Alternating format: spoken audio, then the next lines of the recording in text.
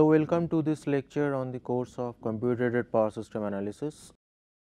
So far we have been discussing this line outage power flow method. Now, in the last lecture we have uh, seen that uh, that how the change in the current flow over an existing line can be can be actually computed if some other line is uh, outaged.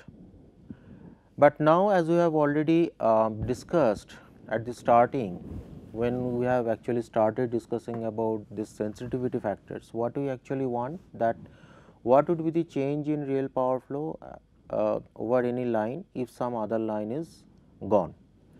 So, now today we would be looking at that how can we calculate the change in real power flow over an existing line if some other line is outaged. So, for that let us um, look at our um, last expression. So, this is the last expression we have um, obtained in the last class. So, here uh, IP, so here uh, basically PQ is the line which is existing line in this uh, in this circuit. Mn is the line between bus M and N which has been outaged and ZB and ZC these are all the impedance of the individual lines and we have already very much uh, we have actually uh, stressed at this point and the other elements are nothing but the element of the bus impedance matrix. Now, we as we already know that we can calculate the bus impedance matrix from the knowledge of the bus admittance matrix. So, then therefore, all these quantities at the right hand side are essentially basically dependent on the line parameters. So, which are already known. So, then therefore, this particular ratio is actually a constant quantity. Now, here obviously for obvious reason uh, we can see that as all these impedance are essentially a complex quantity. So, then therefore, this ratio would be essentially a complex quantity but then here what we are talking about, we are talking about the change in the line power flow, uh, uh, change in the I mean line current flow. So, then so then obviously, we are probably saying here that that what would be the change in the line current flow over the line between buses P and Q that is essentially the complex current over the line between bus P and Q due to due to the outage of the line between bus M and N. Now, what we do is we now apply the assumptions of the DC load flow. We have already discussed what is meant by DC load flow. So, in that DC load flow we said that we uh, take the assumptions that all the bus voltages are equal to 1.0 per unit all the bus voltage angles are approximately equal to 0 they are not exactly equal to 0, but they are very close equal to 0 for example, let us say 1 degree 2 degree 4 degree 5 degree or even let us say minus 1 degree minus 2 degree minus 5 degree etcetera. So, then therefore, they are reasonably close to 0. So, then therefore, theta i minus theta j also would be reasonably close to 0 this is an assumption. And we also neglect all resistances of the lines so, if I now apply these assumptions then what we get is as follows. So, now what we are trying to do is under DC load flow assumptions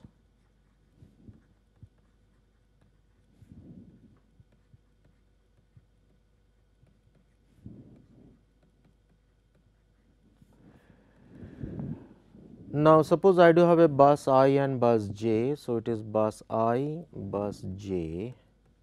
So, we are now doing all the calculations under DC load flow assumption. So, I do have a bus i and bus j and between bus i and bus j there is a line and because we are neglecting all the resistances. So, then obviously, this line would be represented by uh, inductance only. So, let us say this is j x and um, this is V i angle let us say theta i and this is V j angle theta j.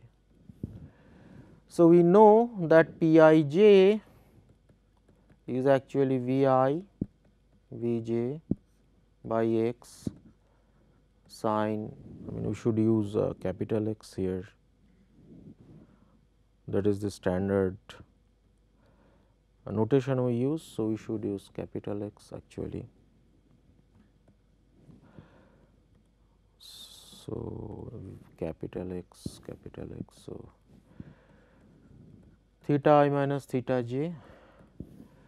Now, we have already assumed that V i and V j is equal to 1 and theta i minus theta j is almost equal to 0. So, as uh, so then therefore, it turns out to be theta i minus theta j by x as uh, according to assumptions V i is equal to V j is equal to 1 and sine theta i minus theta j is almost is equal to theta i minus theta j. This is due to the due to our assumptions that theta i minus theta j is almost equal to 0. So, under DC load flow equation this is the expression of P i j. Now, on in this if I now calculate what is the current I i j. So, now what is expression of current current flow this is of of course V i angle theta i minus V j angle theta j by j x. So, it is V i cos theta i minus V j cos theta j plus j V i sin theta i minus V j sin theta j by j x. Now, here again we apply that V i is equal to V j is equal to 1. So, V i is equal to V j is equal to 1. Now, theta i and theta j is almost equal to 0. So, therefore, cos theta i is equal to cos theta j also is equal to 1. So, then therefore, this term vanishes and here this j this j cancels out and V i this is 1 this is 1 and sin theta i is almost equal to theta i and sin theta j is almost equal to theta j. So, then so then therefore, this also turns out to be theta i minus theta j by x. Here what we are doing here is basically as um, cos theta i is almost equal to 1 and sin theta i is almost theta i and cos theta j is also almost equal to 1 because theta i and theta j they are equal to 0 and sin theta j is almost equal to theta j. Sorry this should be i. This should be i. So this should be i. So then therefore what you can see now? So from this expression and this expression we can see that under dc load flow assumptions the expression of pij and iij are just the same. So, we note that we write that under DC load flow assumption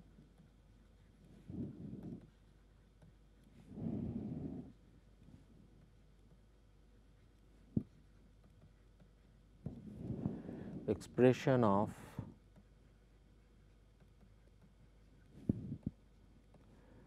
Pij and i i j are the same. So, then therefore, now if I now apply DC load flow assumptions in this expression. So, then what will happen? All these z's that is all these impedances would be replaced by their corresponding reactances. Delta I p q would be replaced by delta p p q and I m n 0 would be replaced by p m n 0 because the expression of I p q and expression of p p q would be the same expression of I m n would be equal to the expression of p p n and here under the DC load flow assumptions you would be actually neglecting the resistances. So, then therefore, everything would be replaced by their corresponding imaginary values. So, then therefore, we can write down under DC load flow assumptions and which we are writing. So, then therefore, we say that under DC load flow assumption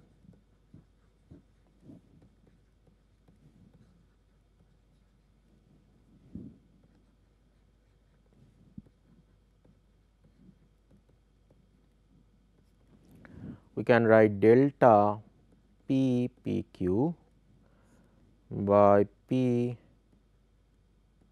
M n 0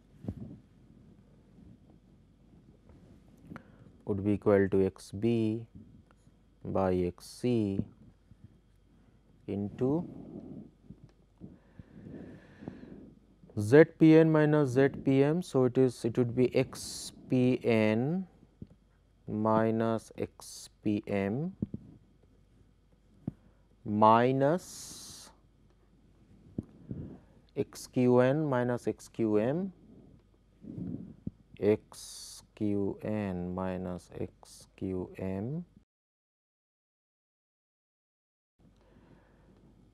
and this is x theta m uh, Thevenin m n minus x b. So, we say that x Thevenin m n minus x b. Again we note that this, this and this they are they are uh, reactances of they are reactances of individual line.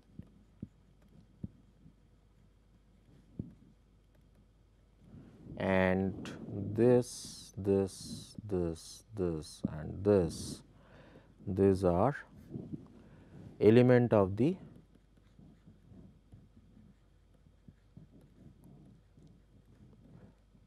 let us say B dash we have already seen it B dash inverse matrix. So, now here we have got one complete expression. So, where it is only dependent upon the line parameter. So, this expression this expression is called so this expression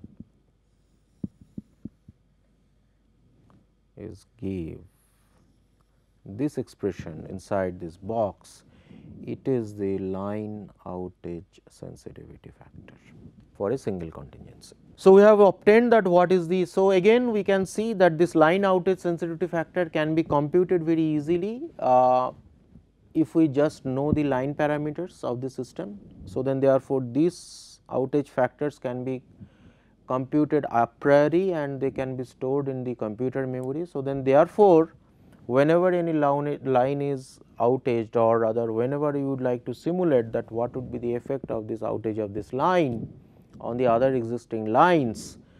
So, we can simply take that what is the value of the um, existing power flow over the line which is which is to be outaged and then simply multiply that existing power flow with this corresponding sensitivity factor to arrive at the change in the power flow over any other line. So, obviously, from here if I know this I mean delta p q. So, then therefore, we know that this p q. So, then from here also uh, from here also we can say that p p q new would be of course, it would be p p q old plus delta p p q. So, then therefore, once we calculate this value by utilizing this LOSFs after that we can very easily calculate what would be the value of new p p q. Now, let us see that what would be that what is the effectiveness of this method I mean does this method give a lot of error or what is the error. So, for that um, now, let us look at an IEEE 14 bus system. We have already uh, shared that what is the data of this. Now, what we are now doing? Now, we are now here showing the results corresponding to outage of two lines. One is line number 18 and what is line number 2. What is line number 2 and 18 would be available in the circuit diagram as well as the from the data. Now, um, this is the original power flow in this P line or E is the original power flow for all these lines line number 1 to 20 and this is the corresponding uh, LSOF actually it should be LO, LO line outage sensitivity factor. It should be LOSF and these are the corresponding values.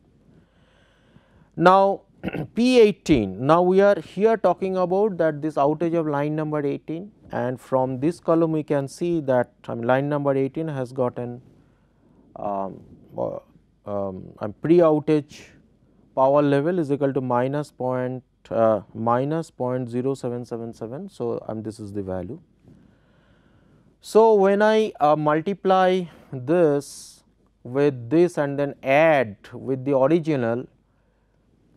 So, now after that what we do is simply now multiply this into this. So, then we get this delta p q 1 and then we add it with the to the original value after that we get this new calculated values of the lines, new calculated values of the power flow over the existing lines because of the outage of line number 18.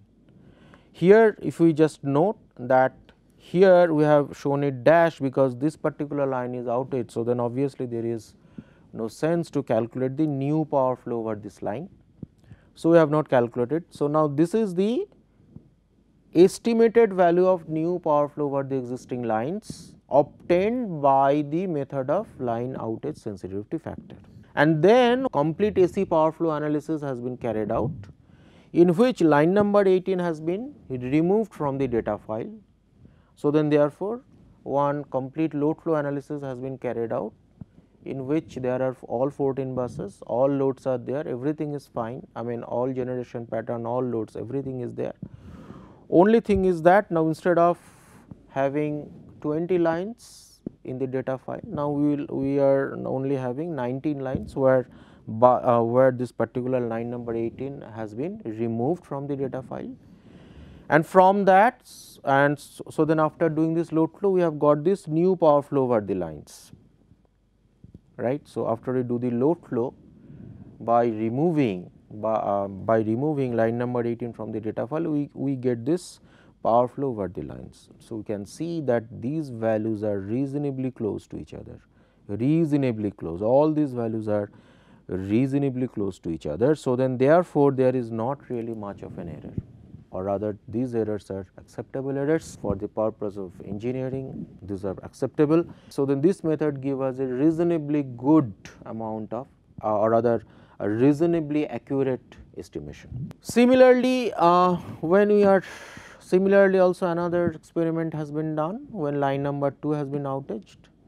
So, we can see that for line number 2 the original power flow is 0.7464. So, this is the 0.7464. So, this is the original uh, power flow and this is the LOS uh, again this is the LOSF. Now, please note that when we are changing the uh, line to be outage. So, then obviously the corresponding LOSF values also would be changed. So, then so then therefore, these LOSF values would not be equal to these LOSF values. So, we have got these LOSF values, so we have got this original power flow. So, then from that we calculate the what is the change in the power flow over in existing lines. So, we get these calculated values obtained by the method of LOSF. And then we have also done the load flow analysis of the system by now removing line number 2, but now when we are removing line number 2, we have actually also reinstated line number 18 in the data file. So, here also in this case we have done the AC load flow for um, 19 lines or rather uh, done the AC load flow of this entire system having only 19 lines in the system. So, now we have got two values that this is the most accurate values at the um, uh, last column this is the most accurate value and at the last but one column this is the value of the uh, power flow obtained uh, by using this LOSF uh, approach. Again we can see that these two quantities are quite close to each other. So, then therefore, this method also gives us a reasonably good uh, estimate of the uh, new power flow over all the existing lines when a particular line is outaged. So, from this analysis, so we can see that this line outage, so then uh, basically uh, by this this uh, line outage sensitivity factors as well as this generator outage sensitivity factors they to give us a reasonable amount uh, or rather uh, reasonable confidence in the estimated values because we have done through experiment we I mean we have already shown that through computer simulation that the values obtained by utilizing this uh, methods that this outage sensitivity factors they are pretty close to the values which are obtained by utilizing actual AC power flow method. So, this completes our discussion of the uh, contingency analysis. So, now we would uh, like to discuss now we would now like to start discussion about our state estimation method. So, so now we start our discussion about so now we start uh, a new method or rather new topic state estimation technique.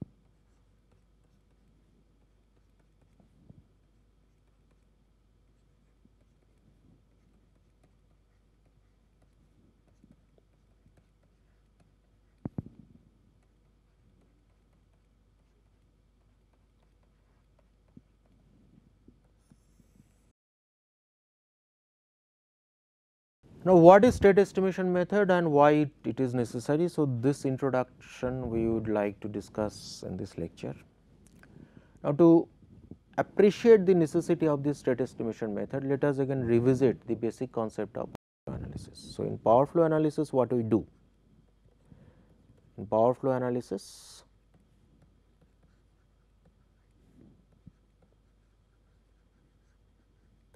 what we do? We have certain inputs and we do calculate certain outputs. Now, what are the inputs? Inputs are V i, theta i at the slack bus, at the slack bus and then P i, V i at the PV bus and P i, Q i at the PQ bus right. So, these are the input quantities and what are the outputs? Outputs are essentially V i theta i at all buses for all for all i is equal to 1 to n and from that we can calculate i i j uh, then magnitude of i i j and then P i j that is the line power flow Q i j and anything and everything. Injected power at all the other buses. In fact those are already given. Injected reactive power at the buses where it is not given. That means we can calculate anything and everything whatever I would like to know about the system. So, once we know these values that is this magnitude and angle at each and every bus with the help of we can essentially calculate anything and everything about the system. Now, suppose we want to monitor the system because uh, every time because uh, essentially on a power system the loading as well as the generation level in the system always changes periodically at least this I mean loading level changes periodically and to respond to that loading level. So, then obviously this a generator generation pattern also changes. So, then therefore, because this loading level keeps on changing changing and as well as to keep track of that loading level as this particular generation level also keeps on changing. So, then so then therefore, the power flow over all the lines keeps on changing.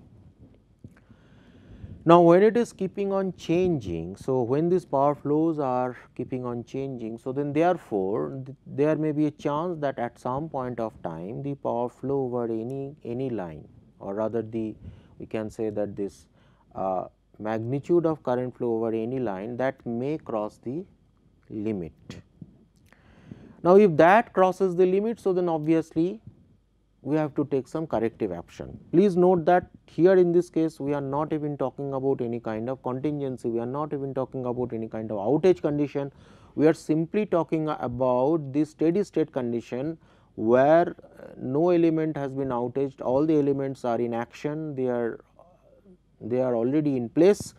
but because of the change in loading as well as the generation pattern the line power flow as well as the current flow over the existing lines they can keep on changing. So, then therefore, there can be a chance that at some point of time the power flow or current flow over any existing line that can go beyond its maximum limit. So, if it goes beyond the maximum limit, so then that particular line is in danger and if that condition persists for a long time, so then this line may be permanently damaged. So, then therefore, it will incur a huge cost to us. So, to prevent that possibility we need to monitor the system on a continuous basis. Now, obviously, we at the first glance we can say that well if I know all these quantities. So, then therefore, every time uh, or rather on a let us say continuous basis we can keep on doing this power flow analysis and then once we do this power flow analysis from this we can calculate all these quantities. So, then obviously you would be able to keep track of the system continuously. But then unfortunately for doing this power flow analysis all these quantities are absolutely required. Even if any single quantity here is missing this power flow analysis cannot be done that is the first problem. Second problem is that we are here talking about that this injected power at all these buses for example, injected power at all this PV bus as well as the PQ bus and the voltage magnitude at the PV bus. Now, what happens that if I wish to do this calculation, this calculation should be done at some central computer station at some particular location. So, then therefore, to that location all these required data need to be given. Now, it may or may not be possible to install meters at all these points to always keep on measuring that what is the injected power at each and every bus. Suppose I do have a simple uh, 3 bus system, simple 3 bus system and I wish to do a load flow analysis. So, I have a generator so, this is my slack bus. So, here let us say I know it, I know it and this is a let us say um, this is a load bus, this is a load bus. So, this is bus 2, this is bus 3. So, this is uh, I have got P 3 and Q 3 in fact, their direction should be reversed. So, their direction should be reversed. So, I have got P 3 and Q 3 here also I have got P 2 and Q 2 so, then therefore, if I wish to do load flow analysis of this system, I need the values of P 3, Q 3, P 2, Q 2 and once I know this, I would be able to do this analysis. But possibly instead of now possibly instead of measuring all these quantities probably it will be much easier as far as this analysis is concerned especially if my let us say um, main server station or uh, main control center is located somewhere here near the generator possibly it will be easier for us to measure the power flow over the line, measure the reactive power flow over the line and measure the magnitude of current flow over the line. So, then in that case what will happen if my control center is located here so, I do not have to really rely on these values which will have to be communicated to me. Rather, I would get these values at a local station. Of course, here we are simply taking a very, very elementary system just to point out the fact that sometimes or in or in let us say several occasions it is much easier to measure the uh, line power flow as well as the current magnitude over the line. Now, basically, so now, now actually what happens when we do a load flow analysis? Now, here in this system essentially there are 4 unknowns V 2, theta 2, V 3, theta 3. So, then therefore, in the so then therefore, to solve for these 4 unknowns we need 4 equations or rather 4 quantities. So, in the normal load flow analysis our known quantities are P 2, P 3, q 2 q 3. So, I have got 4 equations 4 unknown we solve. Now, if I wish to solve for these 4 unknowns it is not always necessary that I should have only these 4 known quantities I can have also some other quantities which are expressible in terms of these unknown quantities and these quantities and let us say out of these 4 uh, equations 3 equations would be I would be getting from here right. And then again also then possibly uh, suppose for example that if I have the uh, means of, uh, with me that I can communicate uh, some data from this center to this center let us say that uh, this distance is 200 kilometer and let us say this distance is also 200 kilometer. So, then therefore, I would like to say for example, in this case that well I do have uh, the means to communicate some data from uh, this center to this center, but unfortunately my communication uh, network from bus 3 to bus 1 is not uh, still existing. I cannot really communicate that data over that that long distance. So, then therefore, if I do not have that, so then therefore, I cannot really put a meter over here and then simply keep on sending what is the value of p 3 and q 3 to do this calculation. Rather what I can do is that I can possibly measure these values let us say uh, p 2 3 or q 2 3 or whatever it is. So, then therefore, I can get 4 quantities from here let us say any one quantities of from here and then I can possibly try to solve for it that is the one problem. So, then therefore, sometimes instead of these I am getting these injected values sometimes or rather in many occasions it is much more convenient to get some other measured values for the purpose for the purpose of analyzing the system. So, um, we stop here today uh, now and in the next lecture we will also continue with this basic concept of this state estimation method. Thank you.